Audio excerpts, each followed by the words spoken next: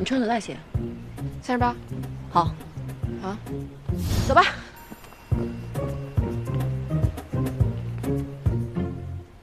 哎，怎么又漏水呀、多大点事儿啊，跟催命似的。我告诉你啊，要不是给你们家多多送狗粮，我都不带进你们家门儿啊！怎么又漏水呢？请看，知道这是哪儿吗？感情昨天晚上水漫金山了吧？啊，你自己瞧瞧，自己瞧瞧。我的天哪，怎么回事儿？哎，我说你出差之前不知道检查一下吗？瞧你那一脸嫌弃样儿，我这不是没来得及收拾吗？你要理解一个职场女性的艰辛啊！怎么样，收拾好了吗？通知物业的人了，马上过来了。哎，我说你赶紧回来啊，把钥匙拿走，我可没空给你当管家。你以为我不想早点回去啊？我这两天就跟个猴子似的，上蹿下跳的，结果连个人影都没见着，我都快烦死了。哎，你去黄岛干嘛呀？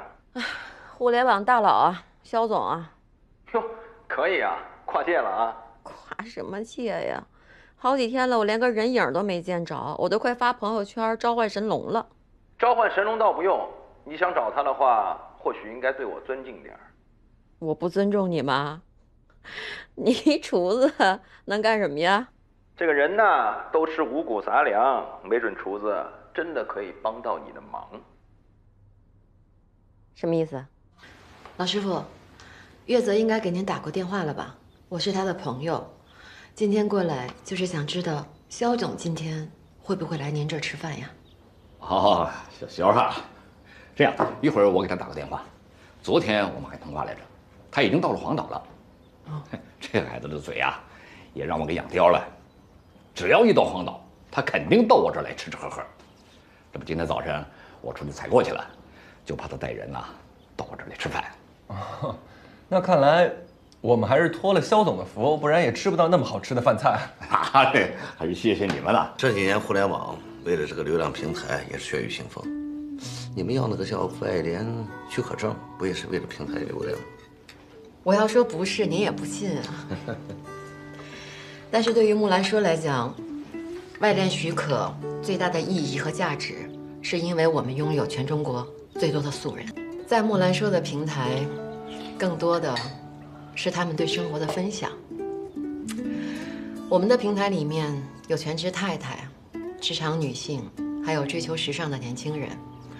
他们会在平台里面分享生活小技巧，还有职场刚需，还有潮流必备品。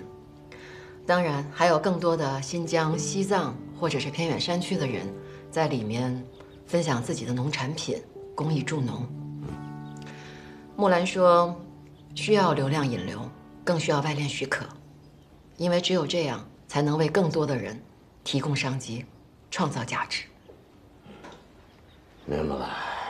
今天的菜还成？托肖总的口福，今天又尝到了新的菜，很好吃。客气，这托你们的福啊。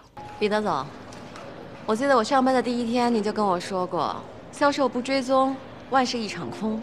作为一个销售，如果你不打电话，别人就会打电话，因为永远有比你更努力的人，对吧？你还真把自己当成好销售了。啊，肖总为什么选择跟你合作？是因为你漂亮。真的吗？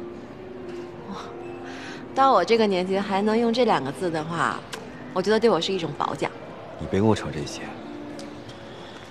你靠不择手段接近男人，别告诉我这也是跟我学的。真没看出来，你真豁得出去。没想到你还学会了胡说八道呢。你敢告诉我，你没有为了利益豁出去？我太敢了，